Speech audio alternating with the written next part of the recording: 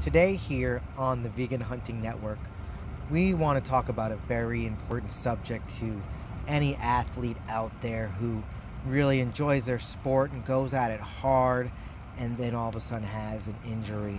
And so, when you're out here on the Vegan Hunting Network looking for something for that inflammation, you've had a sporting accident, we would recommend that you go get some sporting goo. With some spore goo, you've never felt better. You just rub a little spore goo all around your inflamed area and you'll feel better.